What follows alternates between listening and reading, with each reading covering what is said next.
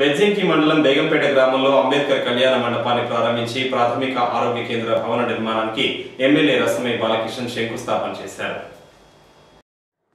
బెజ్జంకి మండలం బేగంపేట గ్రామంలో అంబేద్కర్ కళ్యాణ మండపాన్ని అలాగే ప్రాథమిక ఆరోగ్య కేంద్ర భవన నిర్మాణానికి శంకుస్థాపన చేశారు ఎమ్మెల్యే రసమే బాలకృష్ణన్.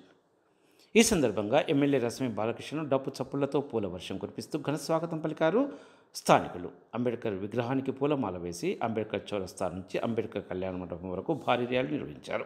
ఈ సందర్భంగా ఎమ్మెల్యే రసమే మాట్లాడారు. భారతదేశ చరిత్రలోనే దళిత అభ్యున్నతి కోసం దళిత సాధికారత పథకాన్ని ప్రవేశపెట్టి పన్నెండు వందల కోట్లు మంజూరు చేసి నేరుగా దళితుల అకౌంట్లో పది లక్షలు జమ చేసి దళితుల బతుకుల్లో వెలుగులు నింపే బృహత్తర కార్యక్రమాన్ని చేపట్టారని సీఎం కేసీఆర్కు కృతజ్ఞతలు తెలిపారు. అంబేద్కర్ భవనానికి రెండు హైమాస్ లైట్లు అదనంగా షెడ్డు టైల్స్ మరుగుదొడ్ల ఏర్పాటుకు నిధులు మంజూరు చేస్తానని ఎమ్మెల్యే హామీ ఇచ్చారు. అంబేద్కర్ నేను మార్గదర్శకంగా చూసుకుంటా. అంబేద్కర్ కూడా చాలా అవమానాలు లేవు ఎదుర్కొన్నాడు. అంబేద్కర్ కూడా బడిలోకి రానియలేదు. నువ్వు చదువుకోవద్దు అన్నప్పుడు అంబేద్కర్ బెదిరించినప్పుడు నువ్వు అంటరాని వాని అని ఎదుర్కో ఆయన నిలబట్టినప్పుడు నిజంగానే ఆయన చదువు అక్కడికే ఆపి ఇలా రాజ్యాంగం రాసేవాడా? అవమానాన్ని ఎదుర్కొని నిలబడగలిగాడంటే రాజ్యాంగ నిర్మాత అయింది ఇలా మహానుభావుడు ఆయన కాబట్టి అవమానాలను ఎదుర్కొన్నాడు అనేది రసమైకుడు కొత్తగా.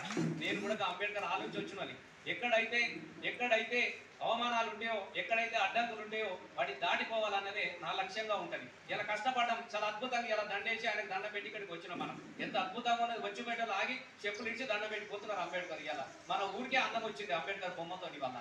ఇలా దాని నుంచి ఇలా ఒక అంబేద్కర్ దాని నుంచి ఇలా ఒక అంబేద్కర్ కళ్యాణ మండపం. నేను ఎందుకంటే ఇక్కడికి వచ్చిన శేఖర్ పెళ్ళికి వచ్చినప్పుడు పాప ఇంటి ముందు పిల్లగాడు తిప్పల పడతా ఉన్నాడు. అట్లాగే నరేష్ వాళ్ళకి చెల్లెపల్లి అనుకుంటా.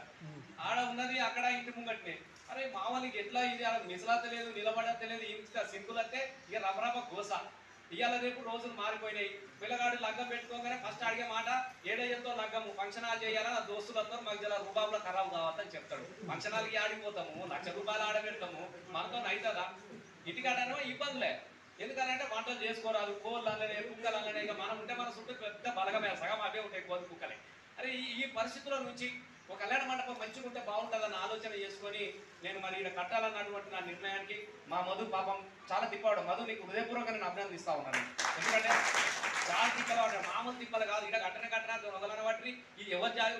ఈ కథ సాధం